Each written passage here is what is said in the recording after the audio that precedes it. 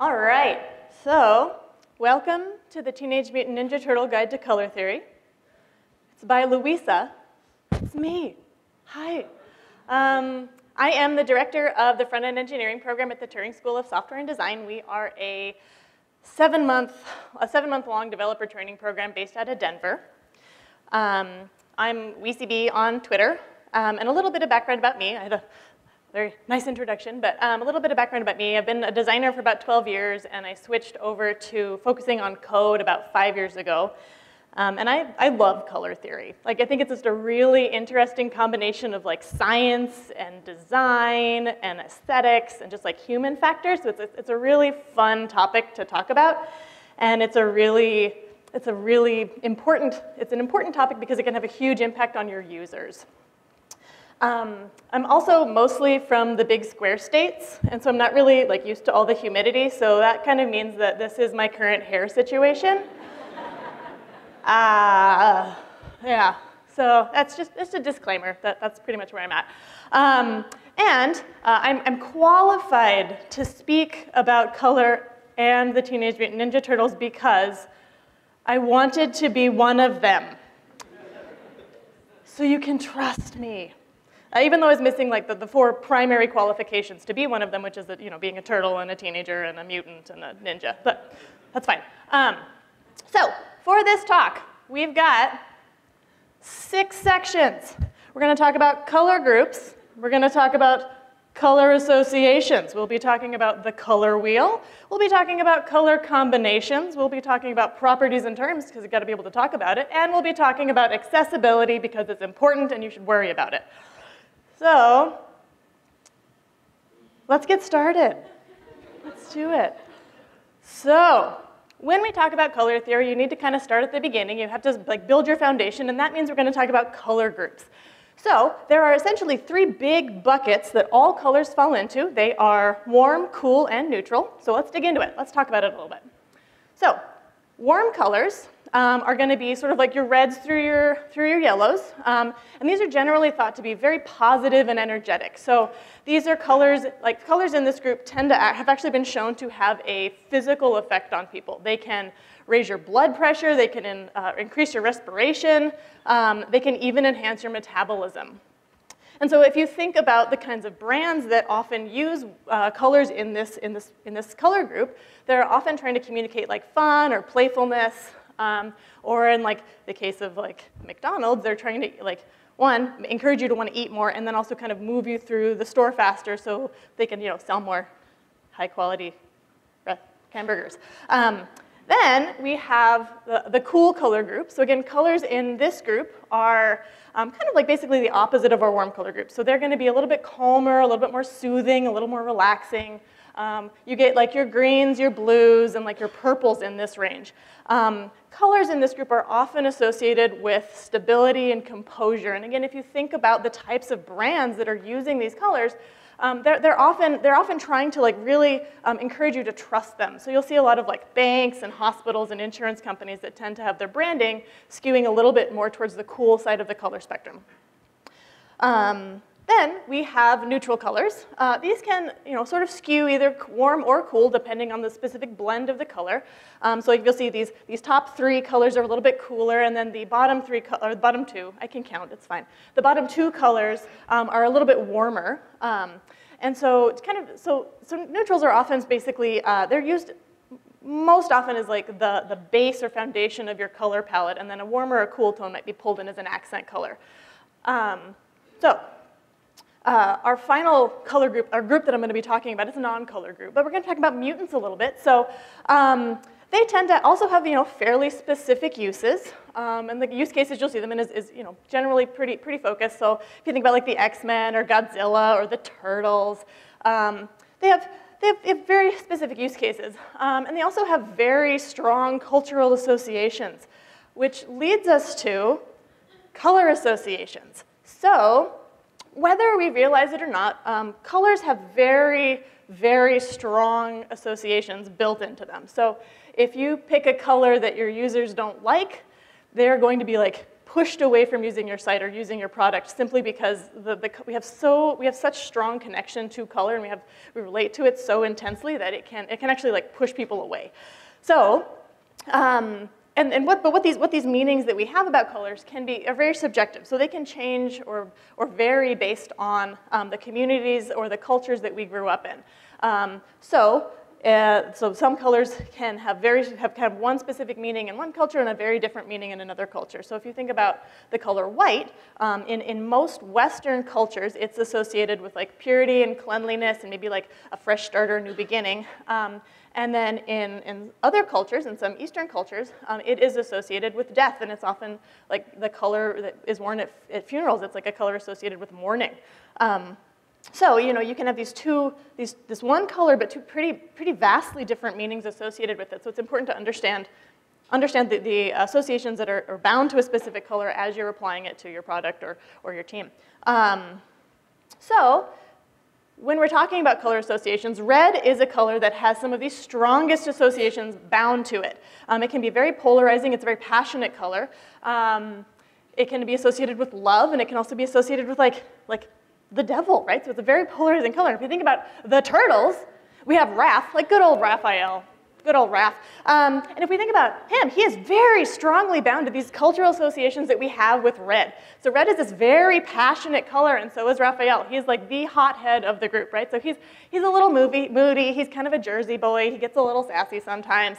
Um, and he's just this very like intense character, and he has a lot of feelings sometimes, like when he's, when he's happy, he's really happy, and when he's angry, he's very mad. And so if we think about some of these like big sort of terms that are often associated with red, we have like determination, we have anger. Raphael gets a little bit angry sometimes. He's a very intense character, which are all things that are bound to red really intensely. Um, if we think about orange, Orange is, it, you still get some of that like intensity and that, that energy from red, but it's a little bit softened, it's a little toned down. If we think about, it's a little bit more playful, whereas red can be very intense and very like passionate. Orange is, is more playful and a little bit more goofy and a little bit more lighthearted. So if we think about the turtles, we have Mikey. Michelangelo. So he, he's like the goofball of the group, right? So he's going to be a little bit more fun, a little bit easygoing. He's still very like active and engaging, but he's not the same level of intensity as, as Raphael. Um, so again, if we think about how we might see orange applied in, in like the real world, you'll often see it applied to like children's toys or like things that you really want to just imply that you're having fun now, like you're having a good time. Um, then if we get into blue, so we're kind of hopping back over to the cool side of the color groups. Um, so blue is, is, is, a very, um, it's a very centered, it's a very centered and calming color. And with the turtles, again, we have Leonardo. So Leonardo is like the leader of the group. He's like the grounding force of the turtles. He's very calm, he's very level-headed. He is able to sort of like read a situation and act appropriately. He's not going to just act out of instinct or, or just because he's upset like Raphael will. He is very much like this grounding force of the turtles. He's like the leader of the group. Um, he's also incredibly focused and dedicated to the team as a whole. So these are all, again, things that we see reflected in the color blue. Um, they're like people, uh, blue is associated with loyalty and intelligence and confidence, and these are all things that are reflected in Leonardo. Uh, then we have purple. And purple is a really interesting color. So the history of purple is pretty cool. So it was, historically, it's been really hard to access. The, the, the, the dye to make purple was very expensive. It was really hard to get. And so the people who had it or who had access to it um, were often people that were in sort of like either like monarchies or uh, like the clergy. So they were, they were people who had um, access to money. Um, and that meant that they were often more educated than the rest of the population which meant that purple is often associated with like wisdom and creativity and um, like dignity. And then if we think of the turtles again, we have Donatello, and he's like the engineer of the group. He's the problem solver. He's always like, he's very like studious and he's industrious. He's still a little bit like, he can get a little goofy still, but like he's the one who's like, he's the problem solver. So he sort of, he really aligns with these sort of historical um, associations that we have with purple. And then we have neutral, and again, neutral is like the background that all of these other brighter, bolder colors can sort of rest on top of. Um, it is very centered, it's very calming, um, and then of course we have Splinter. So Splinter is like the grounding force of the turtles. He is like the like consistent background, and like the turtles are like the little accent colors that he is like supporting and, and working with. Um, so he's laying this like really solid foundation for them to kind of be themselves and grow into their own. It's great. Um, so now that we know these big buckets about like all colors fall into, we can talk about the color wheel. So, or as I've heard it described, uh, the, the pizza of color. Um, so now that we can, we can start to talk about like the relationships between colors and um, so the color, the color wheel essentially um, lets us understand the purity of colors and then also how they are created. So it helps us understand a little bit more of like the nitty gritty behind what's going on under, behind the scenes. So we start off with primary colors. So primary colors are pure colors. So these are gonna be red, blue, and yellow. So all colors come from primary colors. Uh, you cannot blend other two colors together to create a primary color. They are like, they're like your source of truth when it comes to colors. Um, so, but they are, they're the base for all other colors. All, color, all other colors are made from combining red, blue, and yellow. Um, and when we talk about the turtles, we got Leonardo and Raphael. So again, we have this hot-cool dynamics. We have, um, again, like Leonardo's in the cool color group, uh, Raphael's in the warm color group. They are the most intense, like passionate colors that we um, have, the personality types. Um, their, their personalities are the most like intense and like pure. Um, they butt heads a little bit more. They, are, they can kind of like, uh, kind of get each other going a little bit. Um, but they also can't like balance each other out. So if Raphael gets really wound up, Leo's gonna be there to like bring him back down a little bit and kind of calm him down. So they, you, get, you get this hot, cool dynamic, but they really, they balance each other really effectively and really well. Then we have secondary colors. So secondary colors are created by blending in equal amounts uh, two primary colors. So you take like, um, like red and yellow blended together is going to be orange. So essentially like you can just take these two colors, two primary colors and blend them together in equal amounts and you end up with a secondary color. Um, and then when we come to the turtles again, we have Donatello and Michelangelo. So we still have that hot, cool dynamic. Like we, Mikey, Mikey's a little bit goofy, he's like the party guy, and then Donatello's a little bit more studious and a little bit more focused. Um, but they don't really butt heads the same way that uh, Raphael and Leonardo do because they're secondary colors. So their personalities are a little bit toned down, they're a little bit less intense, but they're still these really bold, punchy colors that are still very, like, very opinionated and have a lot of opinions about things. Uh, cool. So now that we understand uh, some of how color, where colors come from, we understand a little bit of like the basics of the color wheel, we can start to talk about combining colors.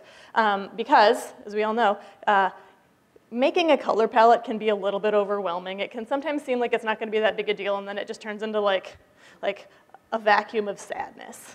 Trying to find like a nice color palette, it can be hard. So we're going to talk about uh, some basic strategies for to kind of like help you think about approaching color palettes and how, where to get started and how to how to roll with that.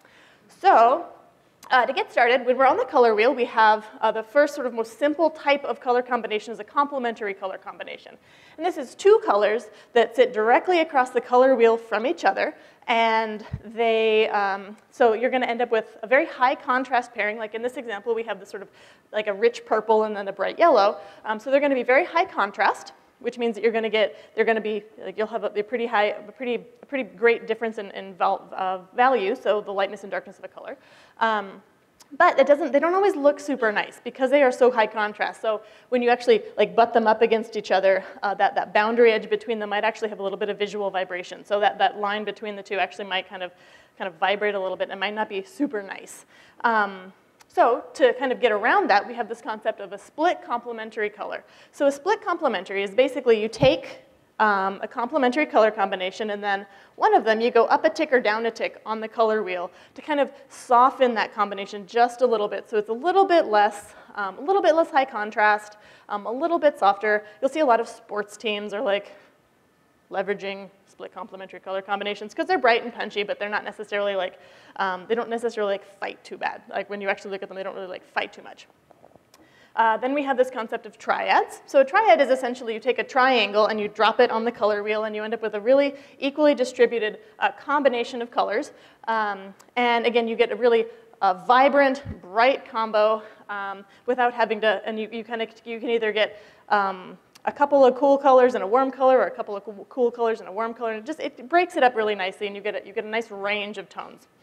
Um, then we have a tetradic uh, color combination. This is when you take a, a, rectangle and you drop that on the color wheel. Um, and that means that you end up with the turtles. Um, and this is as close as I get to conspiracy theories. So we've got so we have, we have the turtles here, and like what may have seemed like an arbitrary combination of colors just picked out of a hat willy-nilly is actually very intentional. So we can see that we've got this very equally, like equally balanced, um, very carefully crafted combination of colors that gives us this very um, soft, uh, not soft, but a very like uh, balanced color combination um, and a really nice mix of hot, cool, and then very aggressive and slightly softer um, uh, combinations and relationships between colors and characters. So there's a lot of contrast, but there's not necessarily conflict. Mm. So now, so now that we have, now that we kind of understand the color wheel, we understand how to make, like how to start making some color combinations. Um, now we're going to talk about color properties. So this is essentially going to give us the vocabulary to be able to speak about color a little bit more effectively. So we kind of, so when we're, when we're working with it, we can, we can speak a little bit better to, uh, to it. We can explain it to our teams a little bit more effectively. Um, and it also just makes you like really fun at parties. You can just show up and be like, hey, grandma, guess what? So um, it's really good for holiday gatherings, pro tip. So, um, so we're gonna talk about this. Let's dive right in. So first, we're gonna talk about hue. So hue is essentially, um, it's almost like a synonym for color. It is like a pure color. So these are going to be, so something that could be considered a hue is essentially like the colors that you might find in a, like an eight pack of crayons. So the colors that have names. So you could say like, like red or blue or green, the colors that you can really kind of, you can identify a name with a word. Those are often, um, those are often referred to as hues. Uh, so, cool. Then we have value. And so value describes the lightness or darkness of a color. And it has to do with how much light that color is uh, allowing to reflect back into your eye. So if we have a really dark color, or that is going to have a low value, because that means that it is absorbing more light than it is reflecting back to you. And then if we have a, a high value, that means that it's a light color, which is reflecting more light back into your eye than it is like absorbing away from you.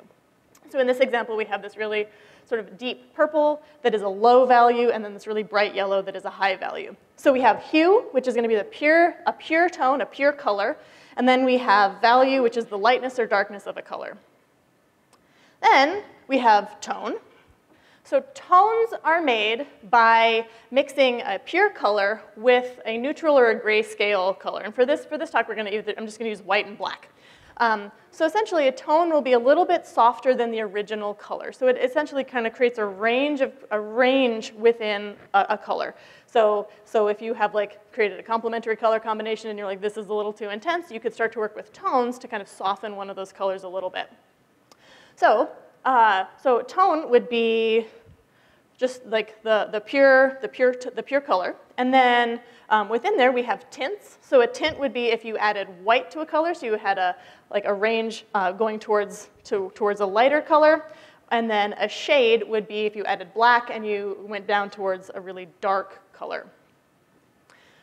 So then we have saturation. So saturation defines the range of purity of a color. And this is pretty interesting. So you go from having 100% saturated, so this very, this very bright, bold, sort of yellowy green color here, um, and then you have 0% saturated, which becomes this gray.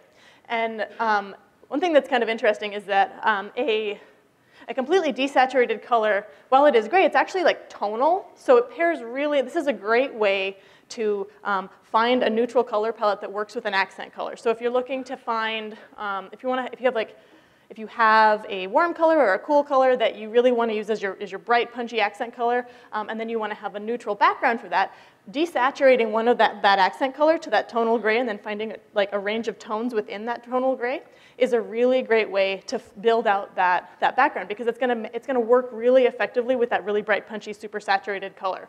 Um, and since we're speaking about tonal gray, um, tonal gray is actually pretty interesting. So when you're, when you're actually painting, the way you get tonal gray is you can take two colors that are on equal, so tonal gray are like just to desaturate a color when you're painting.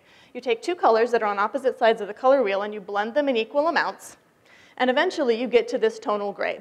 So essentially the way you get to that gray color is by combining all of these elements by the, these, these colors together, and then you end up with this tonal gray that will work really effectively with either color that you started from.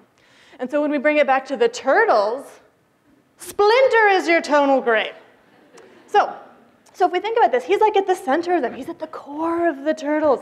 He is an equal combination of all of his students, right? So he is he's at the center of them. If you combine any one of them in equal amounts, you're going to hit Splinter because he's at the core of their being.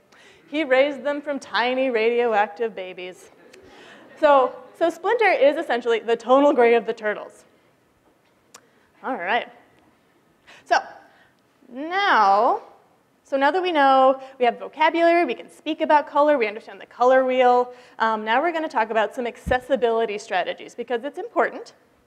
And we need to, like, as, as was mentioned earlier this morning, like there is a large percentage of the population that has a color vision deficiency. So that's about it's about four and a half percent of the population in the U.S. That's like 13 million people. That's a lot. That's a lot of humans. Um, so, what's important? Like one of the one of the so most sort of straightforward ways to help to help avoid um, causing problems or struggles for your for your users who are are or some, have some amount of color blindness is to not rely exclusively on color to deliver a message to your users. So, as an example, let's talk about forms. Who doesn't love a good form?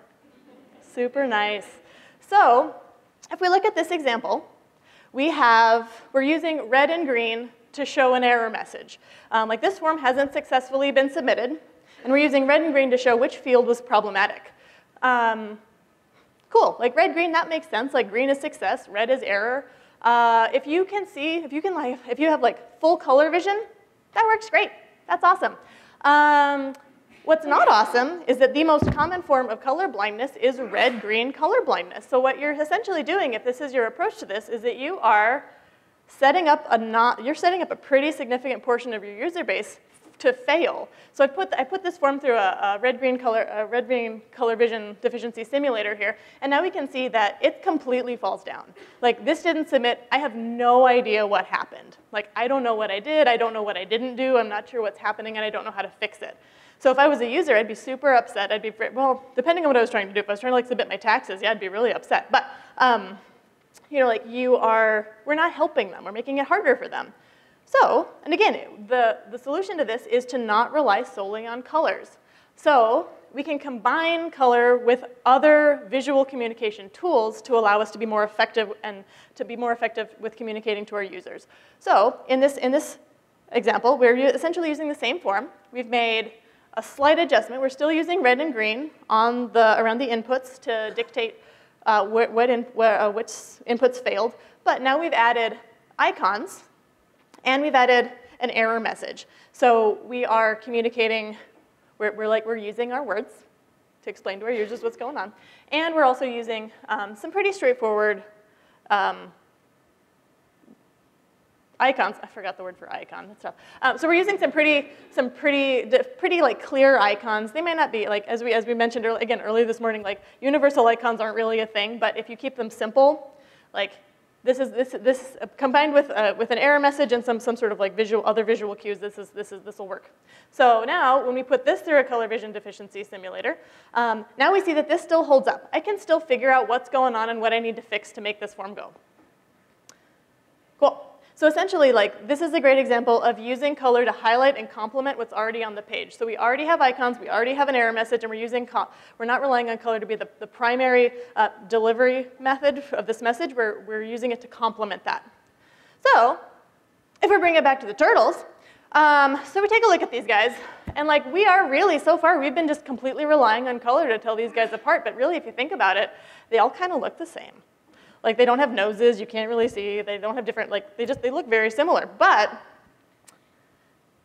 what we can, what we, how we can tell them apart is with their weapons. So if I put, I put the turtles through a color vision deficiency simulator, and so now you still know exactly who's who because they all have very different and distinct weapons. So again, like we're not relying solely on color to communicate which turtle is which, we're just complementing what's already on the page or the, you know, the reptile, it's fine. And so, so now we are communicating more effectively and we've, essentially, we've just made the turtles accessible. We did it, hooray. So, to sum up, um, we covered six parts, and they covered colors and conspiracy theories. Um, my research and references were pretty much exclusively being a kid in the 90s. Uh, and I'm pretty sure I nailed it. All right.